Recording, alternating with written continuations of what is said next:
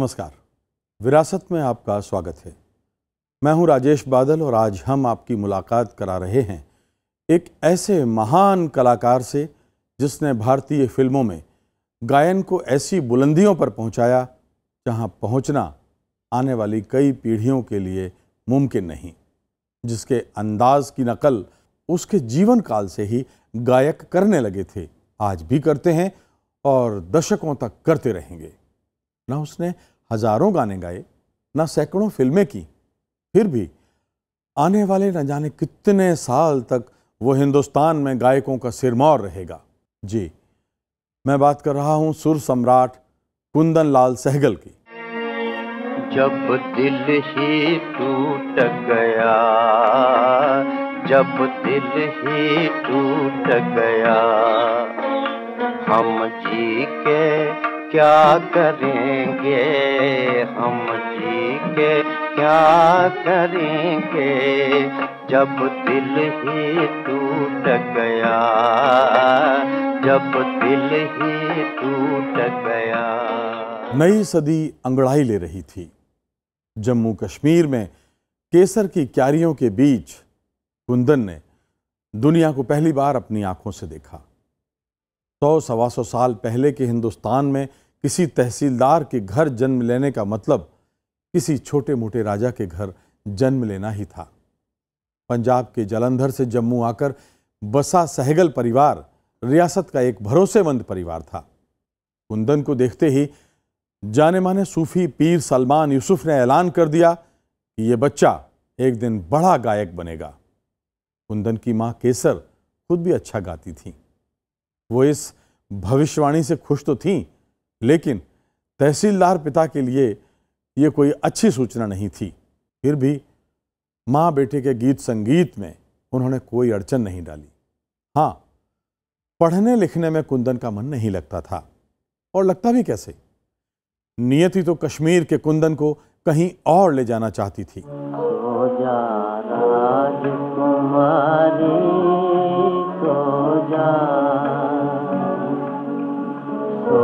जा राजकुमारी सो जा। सो जा मैं बलिहारी सो जा सो जा राजकुमार मन दर्पण है जग सारा।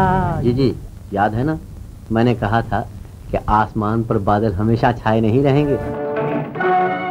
कश्मीर के इस कुंदन की पूरी ज़िंदगी के अलग अलग पड़ावों की कहानी हमें सुनाएँगे वो लोग जो दशकों से इस सुर सम्राट को अपने भीतर धड़कता हुआ महसूस कर रहे हैं। ये हैं शरद दत्त, जिन्होंने बरसों तक कुंदन लाल सहगल के बारे में घूम घूम कर शोध किया और उन पर किताबें लिखी। उन्होंने एक वृत्त चित्र का भी निर्माण किया।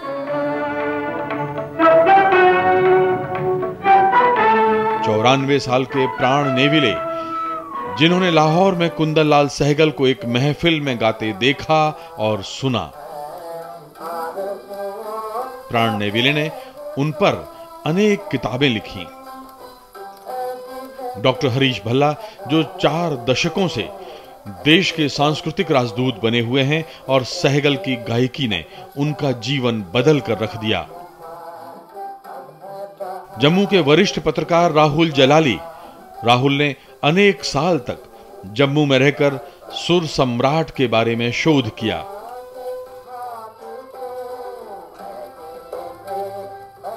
खुद के एल सहगल के नाती परमिंदर चोपड़ा।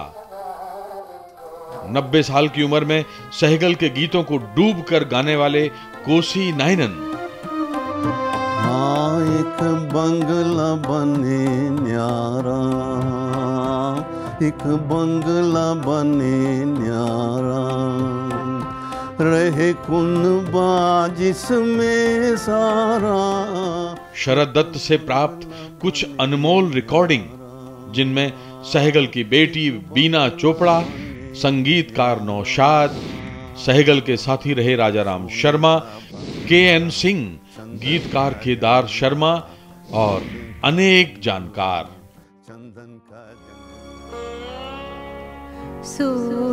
राजकुमारी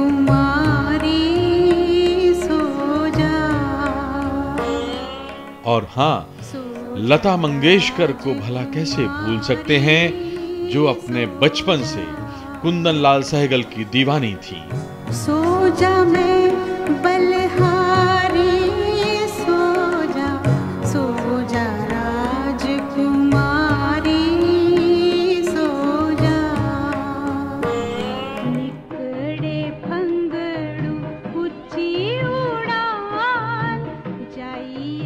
डोगरी लोकगीतों की धुनों ने पाँच साल के कुंदन को मोहित कर दिया था।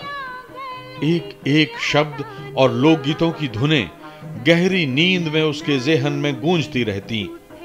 ना पढ़ने में दिल लगता और न किसी काम में। हाँ, कुंदन की माँ भी बड़ा मीठा गाती थी। कुंदन उन्हें गाते हुए घंटों तक सुनता रहता। अलबत्ता पिताजी को यह भांडगिरी लगती थी। लेकिन वो मन महसूस कर रह जाते क्योंकि उनकी पत्नी का ये प्रिय शौक था। के लिए कहा जाता था भी स्कूल जाओ जैसे सब माँ बाप बच्चों को कहते हैं use run away from the house and पता नहीं कहाँ जाते थे लेकिन थोड़े दिन के बाद फिर लौट आते थे घर। हमारी दादी के साथ वो गाया करते। दादी was a very good singer again लेकिन उन दिनों में हमारे दादाजी गाने के बहुत खिलाफ थे। तो जैसे ही दा, दादाजी काम पे जाते थे तो मम्मी और मेरी, दादी और डैडी दोनों गाया करते थे खूब। Rather she was the one who actually encouraged my father for singing हद तो ये थी कि स्कूल में मास्टर जी पढ़ाते तो पल लेना पड़ता। मास्टर जी गणित समझाते और कुंदन के जेहन में चरवाहों की बांसुरी और उनके लोकगीत चलते रहते। चरवाहों के गीत सुनने के लिए वो अक्सर स्कूल से गायब हो जाता। रात को पोल खुलती तो पिताजी के गुस्से का सामना करना पड़ता। एक बार उन्होंने एक नौकर की ड्यूटी लगा दी। उसे हिदायत दी गई कि कुंदन पर कड़ी नज़र रखे और स्कूल से भागने ना दे। लेकिन कुंदन तो कुंदन थे। नौकर को चकमा देकर गायब हो जाते और स्कूल से छुट्टी होने से पहले प्रकट हो जाते। कुंदन की उम्र केवल 12 बरस की थी, लेकिन पूरे जम्मू में उसकी गायकी के चर्चे थे।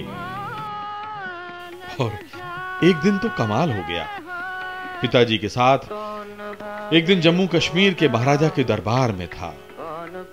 मीरा का भजन गाया और भजन पूरा होते ही तालियों की गड़गड़ाहट से दरबार हॉल गूंज उठा।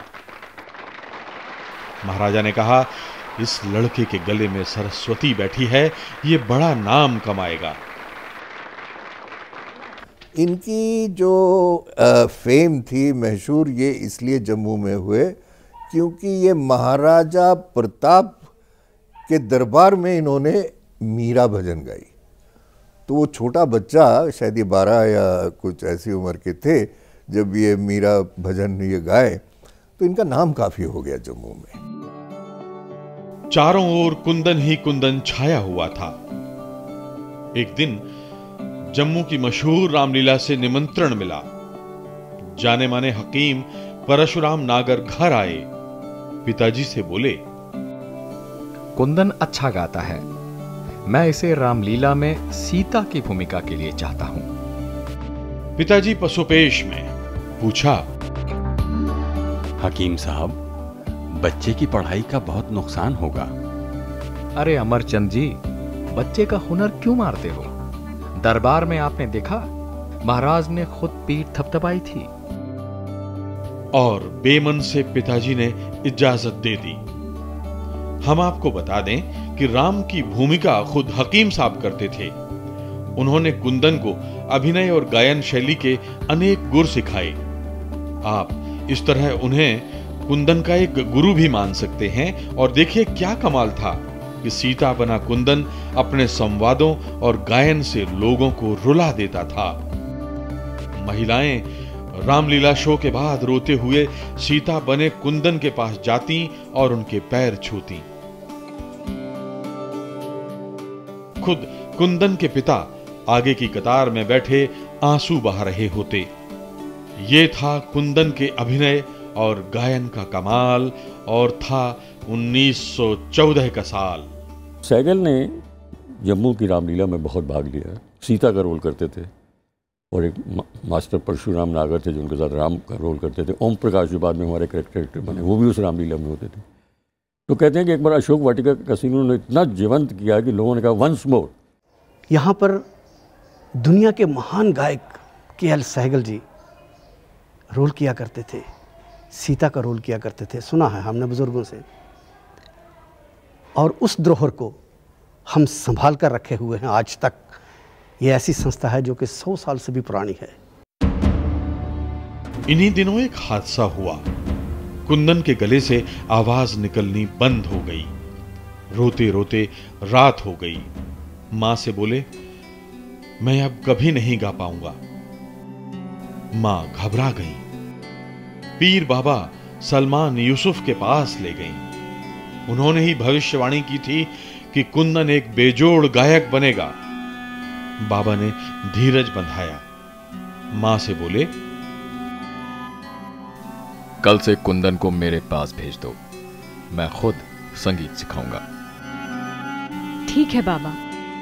कुछ भी करो मेरे बच्चे की झोली संगीत से भर दो। दो साल बाद पीर बाबा के आँगन में कुंदन की स्वर लहरी गूंज रही थी। बाबा की आँखों से आँसू बह रहे थे।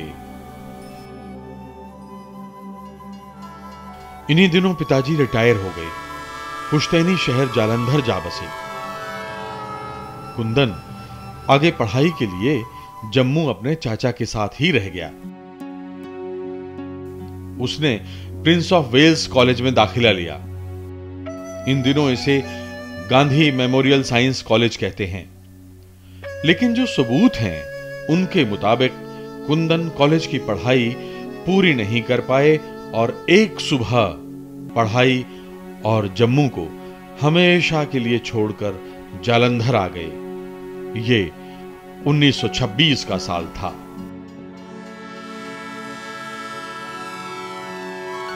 जालंधर के गली सहगला में आज भी वो मकान है जहाँ सहगल का परिवार रहता था। बचपन से आखिरी सांस तक सहगल का रिश्ता इस कमरे से बना रहा। कुंदन लाल सहगल के भतीजे सुरेश सहगल के लिए कुंदन लाल सहगल की निशानियाँ धरोहर से कम नहीं हैं। कि वो यहीं इस रूम में बैठकर अपना जितना भी खाना, पीना बजाना इसी कमरे में किया करते थे। देश ही नहीं दुनिया भर के संगीत प्रेमियों के लिए जालंधर और कुंदनलाल सहगल का घर एक तीर्थ से कम नहीं है। जालंधर में पिताजी ने ठेकेदारी शुरू कर दी थी। वो चाहते थे कुंदन उनकी मदद करे। और ठेकेदारी कुंदन के बस की नहीं थी इसलिए कभी बिजली मैकेनिक बन जाते तो कभी किसी रेस्टोरेंट में काम करने लगते। अलबत्ता संगीत का शौक बदस्तूर जारी था, लेकिन एक दिन पिताजी ने आसमान सर पे उठा लिया। बोले, बहुत हो गया, या तो घर चुनो या संगीत। ज़िंदगी भर तुम्हारा बोझ उठाने का ठेका मैंने नहीं ले रखा है। दुखी कुंदन ने घर छोड़ने का फैसला कर लिया और एक दिन चुपचाप भागकर दिल्ली आ गए। देखिए इसके बाद की कहानी। बंगला बने न्यारा एक बंगला बने न्यारा। रहे कोनो बाज सुमे सारा एक बंगला बने न्यारा। एक बंगला बने न्यारा। He was grown up, I think around 14, 15 years old. तो दादाजी रिटायर हो गए थे तो हवेली में आ गए। तो उनसे कहा गया कि भाई तुम अब करो कुछ क्या करोगे ज़िंदगी में? बड़े हो गए हो। तो बहुत जब घर से ज़ोर पड़ा कि दोबारा पढ़ाई वढ़ाई शुरू करो ये रन अवे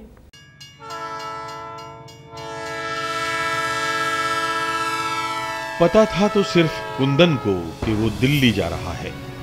स्टेशन पर जब वो रेल से उतरा तो कोई ठिकाना नहीं था कि कहाँ जाएगा। अजनबी शहर में कुछ रिश्तेदार थे। लेकिन उसने तय किया था कि वो अपनी दम पर रोजी रोटी कमाएगा। दोस्तों की मदद से दिल्ली के बिजली विभाग में इलेक्ट्रीशियन की नौकरी मिल गई। इस नौकरी में भला हुनर को कौन पूछता? लिहाजा चंद रोज बाद उकताए कुंदन ने नौकरी छोड़ दी। इसके बाद मिलिट्री इंजीनियरिंग सर्विस में शिफ्ट अटेंडेंट की जॉब मिली। सहगल के बॉस थे बंगला फ़िल्मों के लोकप्रिय गायक और अभिनेता पहाड़ी सान्याल के भाई। उन्होंने ही सहगल की मुलाकात पहाड़ी सान्याल से कराई थी। लेकिन ये कहानी हम आपको सुनाएँगे आगे। अभी तो हम आपको ये बता दें कि इस नौकरी को भी कुंदन ने कुछ दिन बाद ठोकर मार दी, क्योंकि मैनेजमेंट ने उनकी मांग ठुकरा दी थी। कुंदन ने वेतन में पाँच रुपए महीने बढ़ाने की मांग की थी। साइकिल का अगर आप देखें तो वो एक उनका जो पूरा जीवन है वो संघर्ष में रहा और उनकी जो तबीयत थी वो बिल्कुल पीर फकीर जैसी थी। उनको स्वाय संगीत के और कोई खबर ही नहीं थी दुनिया की। सहगल सड़क पर थे। ऐसे में उनके बड़े भाई रामलाल सहगल काम आए। उन्होंने दिल्ली रेलवे स्टेशन पर टाइम कीपर की नौकरी दिलाई। कुछ दिन बाद भाई का तबादला मुरादाबाद हो गया। वो कुंदन को साथ ले गए। कुंदन लाल सहगल अब मुरादाबाद रेलवे स्टेशन पर बतौर क्लर्क काम कर रहे थे। स्टेशन मास्टर अंग्रेज़ थे। संगीत के शौकीन। कुंदन के गायन ने उन्हें मोह लिया। मुरादाबाद के भद्रलोक में कुंदन की महफिलें सजने लगीं। स्टेशन मास्टर की पत्नी भी कुंदन से संगीत सीखा करती थी, बदले में अंग्रेज़ी सिखाती थी। दिन अच्छे कट रहे थे। वहाँ उन्होंने उस्ताद अब्दुल करीम खान का गाना सुना और उन्हें लगा कि ये गाने का जादू होता है। और फिर उन्होंने उनकी मशहूर एक बंदिश फ़िल्म देवदास में दिखाई कभी कभी कुंदन को लगता, दिल्ली में उनके हुनर की कद्र ज़्यादा हो सकती है।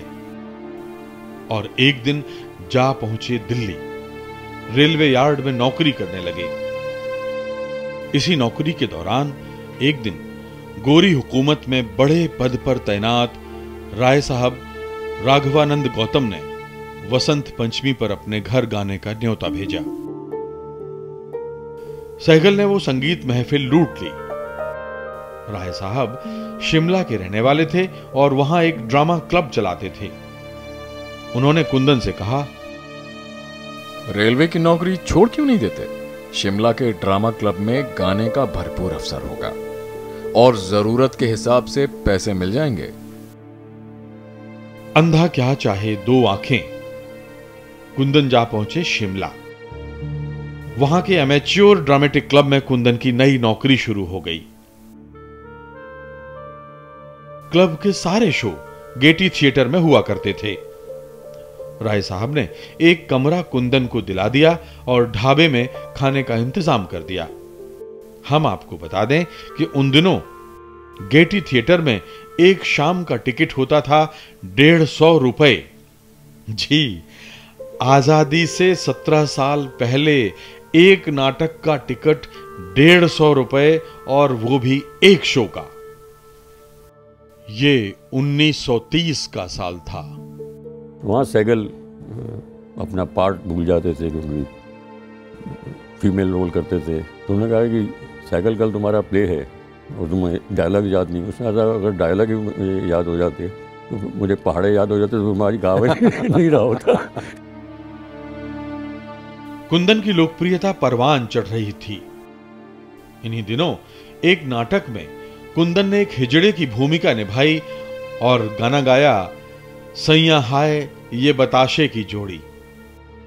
इस नाटक ने कुंदन को शिमला का हीरो बना दिया। उनका एक बड़ा अच्छा गाना, बड़ा मशहूर हुआ था, जो उन्होंने गेटी थिएटर में एक एक्टिंग करते हुए गाया था। वो था सैया मोहे मंगा दे बताशे दी जोड़ी। ये गाना इतना मशहूर हुआ था कि गोर बाज़ार में हर कोई उन दिनों यही गाना गाता, गाया करता था। इन्हीं दिनों सहगल की लोकप्रियता को देखते हुए क्लब ने एक नया नाटक, पत्नी प्रताप सती अनुसुईया के मंचन का फैसला किया। कुंदन इसमें अनुसुईया की भूमिका में थे। राय साहब राघवानंद गौतम इससे बहुत खुश थे। एक दिन उन्होंने कुंदन से पूछा शिमला में कोई तकलीफ़ तो नहीं? नहीं आपके होते क्या परेशानी? आपने तो मुझे सब कुछ दे दिया लेकिन क्या लेकिन? कोई उलझन? नहीं उलझन तो नहीं। एक एक दरखास्त है आपसे। बोलो कुंदन। असल में थिएटर होता है शाम को और सारे दिन मेरे पास कोई काम नहीं होता। अगर कोई छोटी मोटी नौकरी मिल जाए तो समय कट जाएगा। हम्म बात तो तुम्हारी सही है मैं कुछ करता हूँ। राय साहब ने ड्रामा क्लब के एक और संरक्षक आनंदी प्रसाद से बात की। Anandi Prasad Remington typewriter company में मैनेजर थे। इस तरह। कुंदन लाल सहगल की नौकरी टाइपराइटर कंपनी में शुरू हो गई। इतने पैसे होते थे कि सिगरेट की लत लग गई। छह सात महीने ही बीते थे कि कंपनी ने दिल्ली तबादला कर दिया। कंपनी के आदेश पर राय साहब भी कुछ ना कर पाए। ड्रामा क्लब को तगड़ा झटका लगा था। शिमला अब कुंदन लाल सहगल का अतीत बन चुका था। सहगल अब घूम घूम कर गाते हुए टाइपराइटर बेच रहे थे। हमारे पैटर्न थे क्लब के, और वो थे मैनेजर रेमिंगटन टाइपराइटर कंपनी तो उनसे उनसे कहा कि साहब, कहकर साहब, इसको कहीं कुछ लगा लो अपने, उसमें वर्कशॉप में, उसने कोई बात नहीं, भेज दो। उन्होंने भेज दिया, वहाँ लिस्ट उनका एनरोलमेंट हो गया। एक सीज़न के बाद फिर वो क्या नाम दिल्ली आए। मैं भी दिल्ली आया। तो यहाँ कश्मीरी गेट पर दफ्तर था उनका। उस दफ्तर में मैं भी और वो भी साथ साथ थे। गौतम साहब ने कहा कि कहकर साहब ज़रा आप तो, तो कुछ तरक्की कर दो इसकी क्या कुछ बन जाए इसकी ज़िंदगी। उन्होंने उसको सेल साइड में ले लिया। फिर उस तीसरे सीज़न में वो वहाँ से शिमले से चुपचाप चले गए और पता नहीं किसी को इतला नहीं दी कि मैं कहाँ जा रहा। दिल्ली के कश्मीरी गेट इलाके में कंपनी का दफ्तर था। अक्सर वहाँ से गुजरने वालों को दफ्तर से गाने सुनाई देते। कभी कभी तो सड़क पर भीड़ जमा हो जाती और लोग मंत्र मुग्ध होकर कुंदन को सुनते। कुछ दिन के बाद कुंदन को दूसरे शहरों में जाकर टाइपराइटर बेचने का काम मिल गया। कंपनी को ज़बरदस्त फ़ायदा हुआ। कुंदन दफ्तरों में जाते, अपनी आवाज़ का जादू बिखेरते और लौटते तो ढेर सारे ऑर्डर जेब में होते। टाइपराइटर की बिक्री कई गुना बढ़ गई थी। दूसरे सेल्समैन कुंदन से जलने लगे। वो एक साजिश के शिकार हो गए। शिकायत हुई कि कुंदन ने टाइपराइटर बेचने से मिले पैसे कंपनी को जमा नहीं कराए। जाँच के बाद सारे आरोप झूठे निकले, लेकिन कुंदन का दिल टूट गया। उन्होंने तय किया कि वो अब कंपनी में नौकरी नहीं करेंगे। एक दिन सुबह कंपनी का दफ्तर तो खुला, लेकिन उसमें कुंदन लाल सहगल नहीं थे। वो दूर, बहुत दूर जा चुके थे।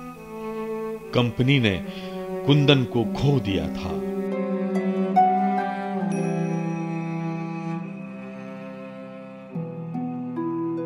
सहगल पैसों की गड़बड़ी के आरोप से आहत थे। ज़िंदगी में इंसान पर ऐसा दौर भी कभी कभी आता है। दुनिया आरोपों के कटघरे में खड़ा करती है, इससे इंसान या तो टूट जाता है, बिखर जाता है, या अपनी बेकसूरी हिमालय की चोटी पर चढ़कर साबित करता है। सहगल ऐसा ही कुछ करना चाहते थे। नौकरी से दिल भर गया था, सोचा अब वही करेंगे जो अच्छा लगता है। फिर क्या था? उठाया झोला और जा पहुँचे नई दिल्ली स्टेशन। सामने लखनऊ जाने वाली ट्रेन खड़ी थी। थर्ड क्लास का टिकट खरीदा और जा बैठे। हमने आपको बताया था कि दिल्ली में मिलिट्री इंजीनियरिंग सर्विस में जब कुंदनलाल सहगल शिफ्ट अटेंडेंट थे तो उनके अफसर ने मुलाकात कराई थी पहाड़ी सान्याल से। पहाड़ी सान्याल बांग्ला फ़िल्मों के मशहूर गायक और अभिनेता थे और उन दिनों लखनऊ में एक नवाब के यहाँ दीवान थे। हो सकता है लखनऊ का टिकट लेने के पीछे पहाड़ी सान्याल से मदद लेने की इच्छा रही हो। हालाँकि इसका कोई सबूत नहीं मिलता। अब देखिए इसके आगे की कहानी। कितना नाजुक है दिल, ये ना जाना। हाय हाय ये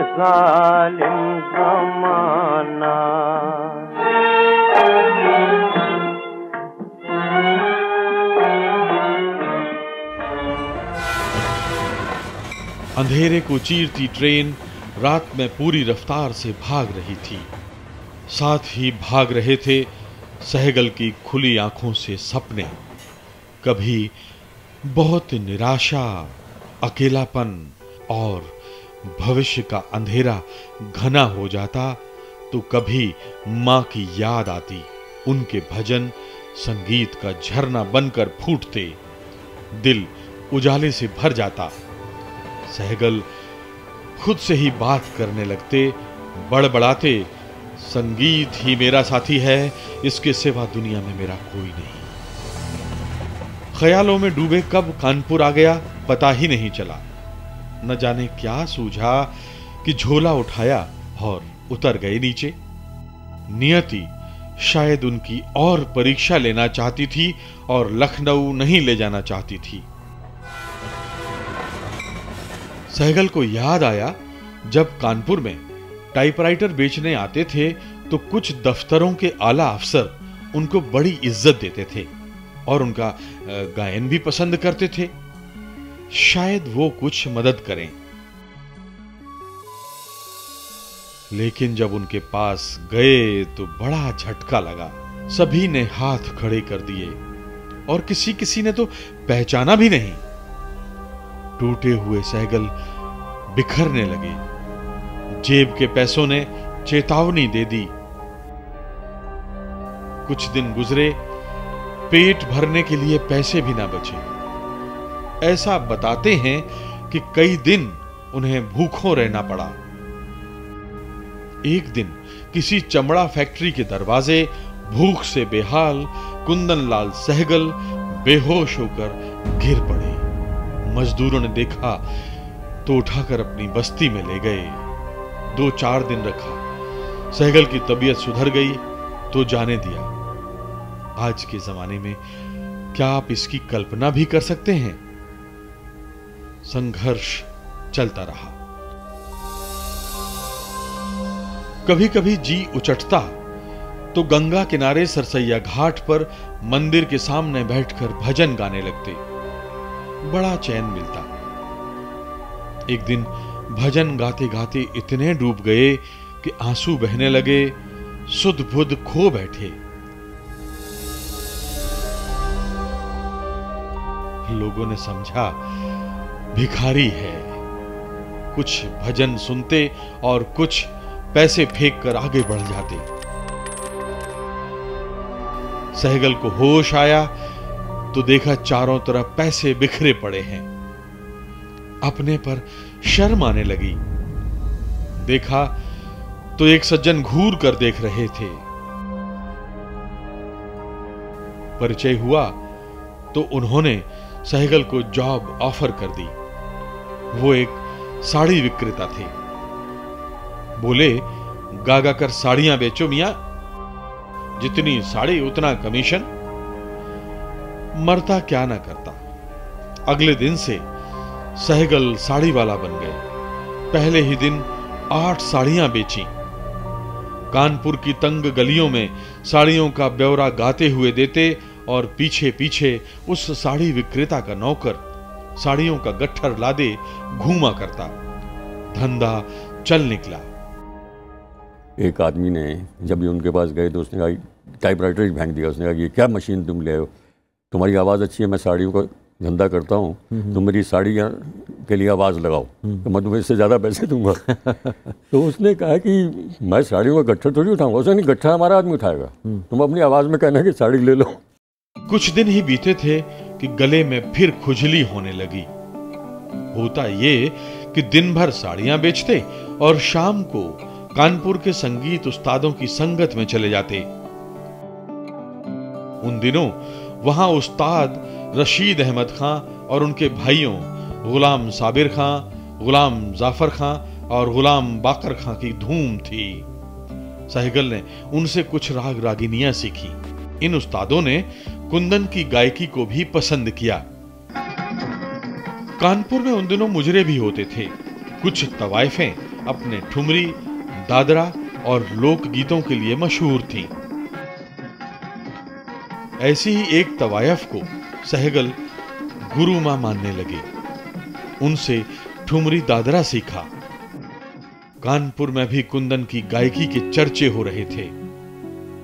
नियति कुंदन को सुर सम्राट बनाने से पहले अपने ढंग से ट्रेनिंग दे रही थी। एक दिन तो कमाल हो गया। शाम की संगीत महफिल में उन्हें पंडित हरिश्चंद्र बाली मिले। वो जालंधर से आए थे और सहगल परिवार के पड़ोसी थे। जब कुंदन जम्मू छोड़कर जालंधर आए थे तो वहाँ के संगीत संसार से परिचय बाली जी ने ही कराया था। दोनों के बीच कुछ इस तरह संवाद हुआ। अरे कुंदन तुम यहाँ कैसे हो भाई? यहाँ कैसे पहुँचे? सेहत कैसी है? क्या कर रहे हो? जी चार पाँच महीने से कानपुर में ही हूँ। तुम्हारे घर वाले तुम्हें ढूंढ रहे हैं। हम सब कितने परेशान रहे हैं तुम्हें शायद नहीं पता। मगर मगर मैं तो बराबर माँ को चिट्ठियाँ भेज रहा हूँ। मज़ाक बंद करो कुंदन। तुम्हें नहीं पता कि माँ की हालत क्या है। कानपुर में हो और चिट्ठी कभी इलाहाबाद से कभी लखनऊ से तो कभी मुरादाबाद से भेजते हो। और किसी में अपना पता भी नहीं लिखते। मैं क्या लिखता? पिताजी मुझे पसंद नहीं करते। उन्होंने तो मुझे निकाल ही दिया था। खैर छोड़ो। अब क्या इरादा है? घर चलोगे? नहीं। कानपुर की संगीत महफिलों से मैं ऊब चुका हूँ। कुछ बड़ा काम करना चाहता हूँ। ठीक है। तुम कलकत्ता क्यों नहीं जाते? वहाँ न्यू थिएटर वाले अब बोलती फ़िल्में बनाना शुरू कर रहे हैं। उनमें एक्टिंग और गाना दोनों करना पड़ता है। तुमने रामलीला में एक्टिंग भी तो की है। लेकिन वहाँ वहाँ मुझे कौन जानता है? हम्म अच्छा सुनो। अगले महीने में कलकत्ता जाऊँगा। न्यू थिएटर के संगीत निर्देशक रायचंद्र बुराल मेरे मित्र हैं। मैं तुम्हें उनसे मिला दूँगा। वाह इससे अच्छा क्या होगा? मैं कलकत्ता पहुंचकर आपका इंतज़ार करूँगा।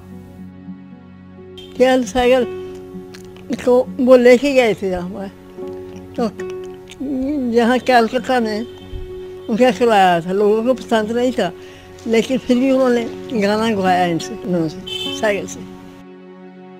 बाली जी ने कुंदन के सपनों को पंख लगा दिए थे। लेकिन उन्होंने सोचा, कानपुर छोड़ने से पहले साड़ी वाले सेठ जी को बताना ज़रूरी है। आखिर इस शहर में सेठ जी उनके लिए तो ईश्वर से कम नहीं थे। वो फ़ौरन सेठ जी के पास पहुँचे और सारा किस्सा कह सुनाया। सेठ जी खुश हुए, बोले, बेटे, कलकत्ता ज़रूर जाओ। कोशिश करने से ही कामयाबी मिलेगी। मेरे लायक कुछ हो तो बताना। जी ज़रूर। लेकिन इतने बड़े शहर में कोई ठिकाना है? कहाँ जाओगे? कहाँ रुकोगे? खर्च कैसे चलेगा? काम मिलने में तो देर लगेगी। वो तो है। वहाँ वहाँ कोई मेरा है नहीं। बेटे हमारी एक गद्दी कलकत्ता में है। मैं अपने मैनेजर को चिट्ठी लिख देता हूँ। जब तक काम ना मिले, तब तक तुम वहाँ रह सकते हो। खाने पीने की व्यवस्था भी हो जाएगी। सहगल असमंजस में, क्या करूँ?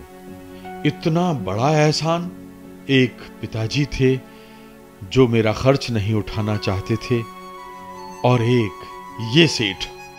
सेठ जी, कुंदन का उहापोह ताड़ गए। स्वाभिमानी कुंदन की हिचक क्या है, समझ गए।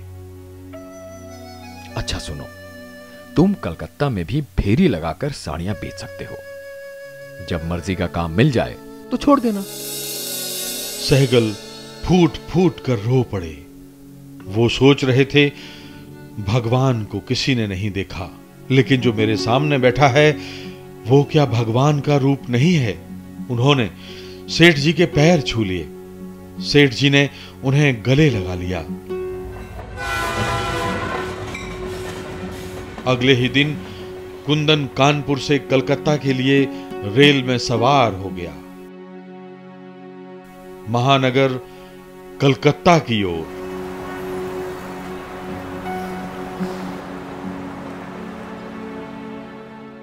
कलकत्ता की तंग गलियों में सहगल के सुर साड़ी बेच रहे थे। दिन भर ठीक ठाक पैसे कमा लेते। अभी हरिश्चंद्र बाली जालंधर से नहीं आए थे। फिर भी साड़ी बेचने के काम से फुर्सत मिलती तो शाम को न्यू थिएटर और रेडियो स्टेशन की परिक्रमा करने लग जाते। न्यू थिएटर में तो नहीं, रेडियो में ज़रूर सहगल को मौका मिल गया। लेकिन दिल्ली अभी दूर थी। न्यू थिएटर के द्वार सहगल के लिए बंद थे। ये 1930 का साल था। सहगल अभी भी फेरी लगाकर साड़ी बेचने का काम कर रहे थे। एक दिन एक गरीब बस्ती में नजमा नाम की लड़की मिली।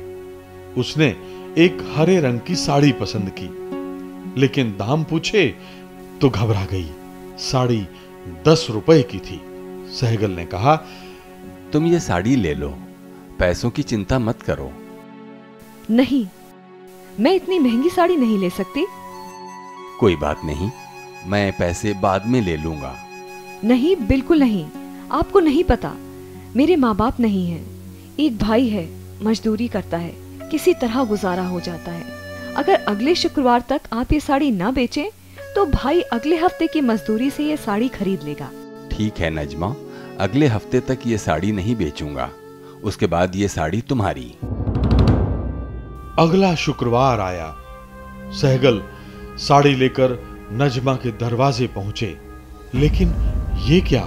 अंदर से किसी के धाड़े मारकर रोने की आवाज़ आ रही थी। देखा, नजमा का भाई था। उसने बताया कि रात को नजमा के सीने में तेज दर्द उठा। डॉक्टर के पास ले गए। लेकिन कोई आराम न मिला। सुबह सुबह नजमा ने दम तोड़ दिया। दवाई और डॉक्टर की फ़ीस में सारे पैसे खर्च हो गए। अब कफन के लिए भी पैसे नहीं थे। सहगल ने दिलासा दी।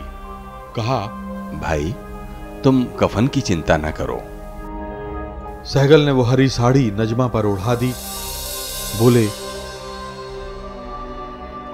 बहन मैं तेरा गुनहगार हूँ। जीते जी तेरी इच्छा पूरी ना कर सका। तू खुदा से कहना, तेरे इस अभागे भाई को माफ़ कर दे। और फूट फूट कर रो पड़े सहगल। अगले दिन से साड़ी बेचना बंद। सहगल की आत्मा कचोट रही थी। सहगल साड़ी वाला मर चुका था। जिस रात नजमा का इंतकाल हुआ, वो कुंदन पर बहुत भारी पड़ी। रह रहकर नजमा का हसरत भरा चेहरा याद आता, सिर्फ़ दस रुपए की साड़ी उसे भेंट न कर पाया। कई बार रोना आया। सुबह हुई तो साड़ी बेचने का सारा हिसाब दफ्तर में जमा कर दिया और साड़ी बेचने से हमेशा के लिए तौबा कर ली। और देखिए, क्या संयोग था नियति ने जैसे पटकथा पहले ही लिख रखी थी, जिसके लिए कलकत्ता आए थे, वो वरदान की शक्ल में सहगल की झोली में आ गिरा। न्यू थिएटर से उनका रिश्ता बन गया। कैसे? देखिए, ये दिलचस्प दास्तान। बालम आए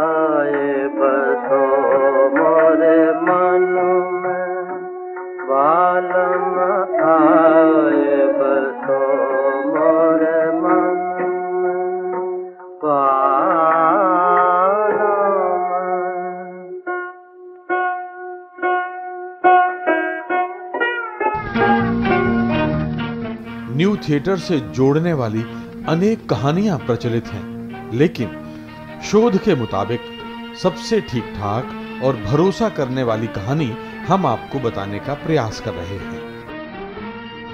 तो हुआ ये कि जब सहगल ने साड़ी बेचना बंद किया और उधर जालंधर से हरिश्चंद्र बाली की चिट्ठी मिली, उन्होंने लिखा था कि वो कलकत्ता आ रहे हैं और न्यू थिएटर्स के संगीत निर्देशक रायचंद्र बोराल के घर ठहरेंगे। कुंदन चाहें तो आकर मिल सकते हैं। अंधा क्या चाहे, दो आँखें। सुबह सुबह जा पहुँचे बोराल के घर। बाली जी ने बोराल से मिलाया, लेकिन बोराल बड़े सख्त थे। बोले, ना तो इसने शास्त्रीय संगीत सीखा है और ना बांग्ला जानता है। सिर्फ़ गजलें और भजन गाने वाले को मैं कैसे मौका दे सकता हूँ? बारी कुंदनलाल की थी। उन्होंने कहा आप अवसर तो दीजिए। आपके आशीर्वाद से मैं असंभव को संभव कर दिखाऊँगा। बाली जी ने भी कुंदन का समर्थन किया। बोले एक बार न्यू थिएटर के मुखिया बीएन सरकार से मिला दीजिए। ये लड़का आपका भरोसा नहीं तोड़ेगा। ठीक है मैं कोशिश कर सकता हूँ मगर वादा नहीं करता। इस तरह आरसी बोराल कुंदन लाल सहगल को ले गए बीएन सरकार के पास। सरकार ने देखा तो बोले अरे इस लड़के से तो मैं कई बार मिल चुका हूँ। इसे तो बांग्ला भाषा ही नहीं आती। कैसे काम करेगा न्यू थिएटर में? एक बार इसका काम तो देख लीजिए सरकार साहब। आपको निराशा नहीं होगी। आरसी बोराल ने कहा चलो तुम कहते हो तो देखते हैं। शर्त यह है कि इन्हें तुरंत बांग्ला सीखनी पड़ेगी। अच्छा पहले कहीं काम किया है? जी टाइपराइटर कंपनी में काम करता था। कितना पैसा मिलता था? जी डेढ़ सौ रुपए और भत्ता। ठीक है हम आपको दो सौ रुपए से ज़्यादा नहीं दे सकते।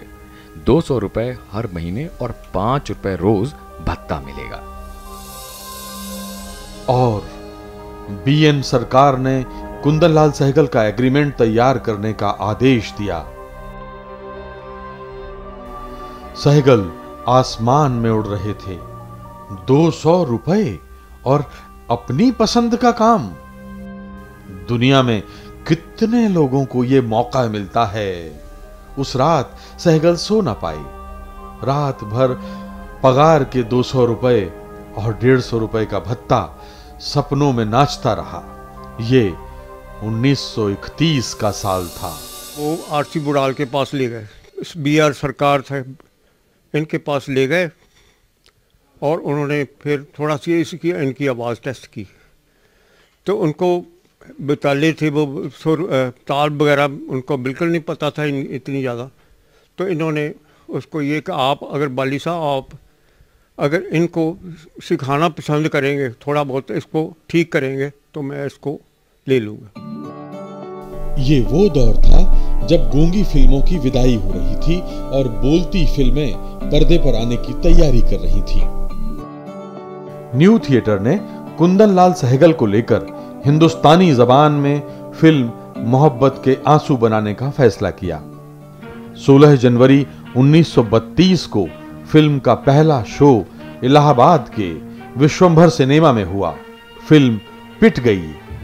सहगल दुखी थे। इसके बाद अगली फ़िल्म भी इसी साल आई, ज़िंदा लाश। ये एक कॉमेडी फ़िल्म थी। ये फ़िल्म भी फ्लॉप हो गई। न्यू थिएटर ने सहगल के साथ इसी साल एक और फ़िल्म बनाई। तीसरी फ़िल्म थी, सुबह का सितारा। अफसोस, ये फ़िल्म भी नहीं चली। सहगल फ्लॉप फ़िल्मों की हैट्रिक बना चुके थे। वो अंदर ही अंदर टूटने लगे। लेकिन देखिए क्या गजब का भरोसा था बीएन सरकार का। अपने आप पर उन्होंने हिम्मत नहीं हारी और सहगल को लेकर चौथी फ़िल्म पूरन भगत बनाई। इस बार किस्मत मेहरबान थी। सहगल की जैसे लॉटरी लग गई। हालाँकि वो फ़िल्म के हीरो नहीं थे। सिर्फ़ साधु के वेश में चार भजन गाए थे। चौदह हज़ार एक सौ सैतीस फीट लंबी इस फ़िल्म ने बेशुमार लोकप्रियता बटोरी। ये 1933 का साल था। पहली तीन फ़िल्मों में जो उनका क्रेडिट लाइन है वो साइगल कश्मीरी के नाम से। ओ पूरा नाम नहीं दिया उन्होंने। हाँ। और घर के लोगों को ज़ाहिर फिर तो बताया भी नहीं नहीं तो तस्वीर वो तो फिर एक जो उनके साथ रेमिंगटन में काम करते थे उन्होंने कहा कि मैंने एक पोस्टर देखा। किसी ने कहा साहब एक साइकिल आया कोई बहुत मशहूर एक्टर है तो वो कहने लगे हमने जब पोस्टर देखा तो उस पोस्टर पर साइकिल की तस्वीर थी लेकिन नाम नहीं था साइकिल कश्मीरी लिखा हुआ था। और साइकिल की जो ख्याति होती है वो होती है फ़िल्म पूरन भगत से। उसमें उनके जो भजन गाए हुए थे उन्होंने तहलका मचा दी पूरे देश में। हर घर में वो भजन बज रहे थे। और ये भी दिलचस्प बात है कि उस फ़िल्म को देख के केदार शर्मा ने फैसला किया कि उन्हें सिर्फ़ फ़िल्म ही बनानी जात प्राणी मेरो सरबीतो जाय। आय काल की है राव प्यारी में काल की है राव प्यारी में इसका लकी है राव प्यारी में तेरो सरबीतो जाय। उनकी मदर जो थी बचपन में इनको ले जाती थी जहाँ भजन होते थे और वो खुद भी गाती थी। इनकी मदर केसर बाई जो थी, वो जब जब कहीं भजन संध्या होती या भजन मंडली होती तो इनको साथ ले जाती और ये भजन वहाँ पे खुद भी गाती थी और इनसे भी गवाती थी। शुरुआत इन्होंने भजन से ही की और इनका शुरू का पहला एल्बम जो आया, वो भजन का ही आया है। बीएन सरकार सहगल से खुश थे। उन्हें लगा कि सहगल और भजन का रिश्ता पर्दे पर कामयाबी का फॉर्मूला बन सकता है। ताबड़तोड़ उन्होंने एक और फ़िल्म राज रानी मीरा बना डाली। इसी साल यानी 1933 में एक और फ़िल्म आई, दुलारी बीवी। इस फ़िल्म का भी कोई रिकॉर्ड या वीडियो आज नहीं मिलता। इसमें वो एक हास्य अभिनेता के तौर पर नज़र आए थे। तो हम बता रहे थे कि सहगल अब बीएन सरकार के चहेते थे। वो सहगल को धार्मिक छवि से निकालना चाहते थे। इसके लिए उन्होंने एक फ़िल्म बनाई, यहूदी की लड़की। इस फ़िल्म में लोगों ने सहगल को प्रिंस मार्कस के रूप में देखा। दरअसल, ये फ़िल्म जर्मन तानाशाह हिटलर के यहूदियों पर अत्याचारों को ध्यान में रखकर बनाई गई थी। पारसी थिएटर के जाने माने नाटककार आगा हश्र कश्मीरी के नाटक पर यह फ़िल्म बनाई गई थी। सहगल की नायिका थी रतन भाई। फ़िल्म के 19 में से पाँच गाने सहगल ने और दो रतन भाई ने गाए थे। बाकी का ब्यौरा नहीं मिलता। 19 जनवरी 1934 को यह फ़िल्म कलकत्ता के न्यू सिनेमा में रिलीज़ हुई थी। फ़िल्म से मिर्ज़ा गालिब की एक गज़ल का टुकड़ा आपके लिए पेश है। है गम दिल। उसको सुनाए ना बने। क्या बने बात जहाँ बात बनाए ना बने। क्या बने बात जहाँ बात बनाए ना बने। उन्होंने गालिब की जो खुद कंपोज की हुई थी गज़लें वो गाएँ। उन्होंने गाया लाई हयात आए कज़ा ले चली चले। ये उनकी मुझे सबसे बड़ी फेवरेट गज़ल उनकी है। बाकी अ, गालिब को ट्वेंटी सेंचुरी में पॉपुलर करने वाला कुंदनलाल सहगल था। यहाँ तक कि पाकिस्तान की एक न्यूज़पेपर में ये लिखा गया था कि गालिब को जो ट्वेंटी सेंचुरी में इतना पॉपुलर हुआ है सिर्फ़ शहनशाह मौसीकी कुंदन लाल सहगल ने जो उसकी गज़लें गाई हैं नाइनटीन थर्टीज़ में। इसी बीच न्यू थिएटर की एक फ़िल्म चंडी दास ने बहुत लोकप्रियता बटोरी थी। ये बंगाल की पहली बोलती फ़िल्म थी। रात कटे किन किन के तारे? ढूंढत नैना साझा सकारे। सहगल ने इसमें चंडीदास की भूमिका निभाई थी। नायिका थी गायिका अभिनेत्री उमा शशि। तीन महीने में ही फ़िल्म पूरी हो गई। जैसे ही फ़िल्म का प्रदर्शन हुआ, सहगल लोकप्रियता की चोटी पर जा बैठे। ये 1934 का साल था। चंडीदास के आखिर में एक सीन है जिसके अंदर एक ब्याह दिखाते हैं। जो हीरो है, वो हीरोइन से ब्याह कर लेता है। मेरी नानी उस फ़िल्म में बैठी थी नाना उनके साथ बैठे थे, लेकिन उनको बार बार थिएटर से बाहर जाना पड़ रहा था बिकॉज़ फैंस आते थे या कुछ काम होता था। तो ये देख रही थी कि ये आते हैं, चले जाते हैं तो उनको लगा कि ये पीछे जाके और एक्टिंग कर रहे हैं लाइव देख रहे हैं, उनको फ़िल्मों का आइडिया नहीं था। जब शादी का सीन आया तो उन्होंने शोर मचा दिया उधर कि ये तो मेरे पति हैं, आप शादी कैसे कर सकते हैं? तो फिर वो नानी को लेके न्यू थिएटर्स ले गए स्टूडियोज दिखाए उनको बताया कि भैया, फ़िल्में इस तरह से बनती हैं। He is the founder of film music film music उनके साथ ही शुरू होता है उससे पहले फ़िल्म म्यूज़िक था ही नहीं। और उसके बाद बस फ़िल्म म्यूज़िक समझिए।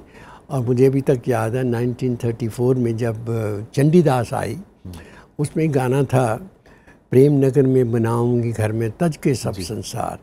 It became a household song इतना पॉपुलर हुआ। प्रेम सखा हो, प्रेम पड़ोसी प्रेम में सुख का सार, प्रेम में सुख का सार।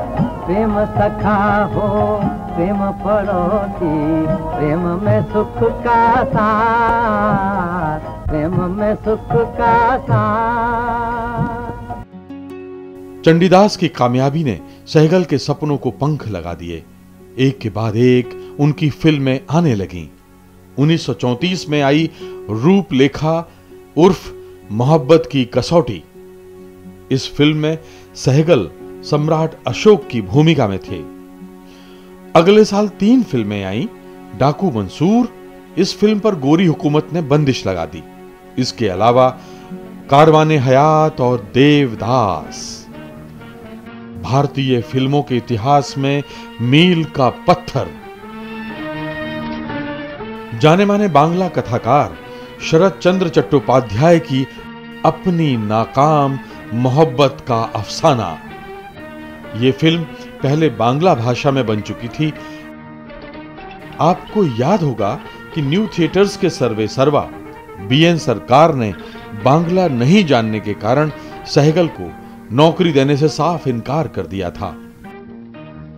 लेकिन जब बांग्ला में देवदास बनी तो फ़िल्म के दो बांग्ला गीत सहगल को ही गाने का मौका मिला। और जब देवदास का हिंदी संस्करण बना तो सहगल फ़िल्म के हीरो थे और उन्होंने सारे गाने गाए।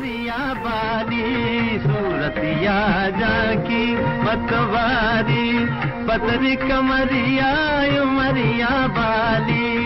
एक नया संसार बता है, एक नया संसार बता है। जिनके दो नन में बालम आज बसो।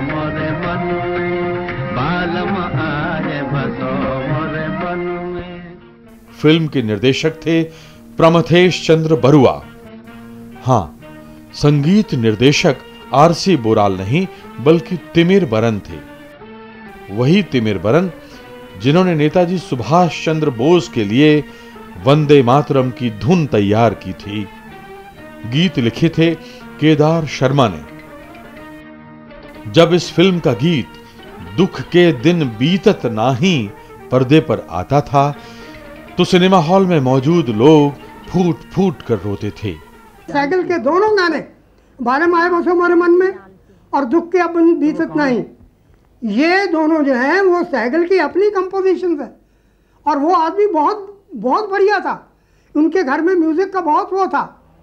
ये उन्होंने बैठे बैठे वहाँ मराए थे। क्योंकि जब पिक्चर सुपर हिट हो गई और ख़बर आई कि दोपहर को एक गाना इसमें डालना है तो मुझे बुलाया गया कि अभी लिखो। तो मैंने कहा सैगल साहब को लाइए, मैं लिखता हूँ। ये तर्ज बनाएँगे तो उसी वक्त बैठ के ये बना ये बना था। ना मैं किसी का, ना कोई मेरा। छाया चारों ओर अंधेरा। अब कुछ सूझत नहीं। दुख के अब दिन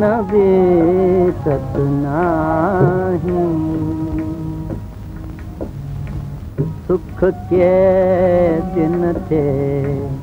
एक सपन था सुख के दिन थे। एक सपन था सुख के दिन थे। एक सपन था अब दिन बीतत नहीं मोरे। कहा जाता है कि फ़िल्म का जब पहला शो हुआ तो खुद बरुआ इसे देखने गए, साथ में एक रिवॉल्वर भी ले गए। ये सोचकर कि दर्शकों को अगर फ़िल्म पसंद ना आई तो वो खुद को गोली मार लेंगे। देखिए इस नायाब कोहिनूर के कुछ दृश्य। ओ तो तुम आ गई। हाँ मैं आ गई। तुम कहाँ जा रही थी? मैं पूजा के लिए मंदिर में जा रही थी। तो फिर यहाँ क्यों आ गई? मुझे मेरे देवता ने बुलाया इसलिए मैं आ गई। पारू क्या? मेरे वालदेन इसके खिलाफ हैं। सुना? तुम जानती हो? मुझे कुछ भी जानने की ज़रूरत नहीं। देवदास? क्या हुआ भैया? कुछ नहीं। हिंदुस्तान को फ़िल्मों का पहला महानायक मिल गया था। ये 1935 का साल था। देवदास के बाद के एल सहगल हिंदुस्तानी फ़िल्मों के महानायक बन बैठे। पर्दे पर कुंदनलाल सहगल की बेजोड़ पारी की दास्तान देखिए विरासत के अगले एपिसोड में। तब तक के लिए इजाज़त दीजिए। नमस्कार। सूरतिया जाकी, पतवारी, पतरी कमरिया, उमरिया बाली। एक नया संसार बता एक नया संसार बता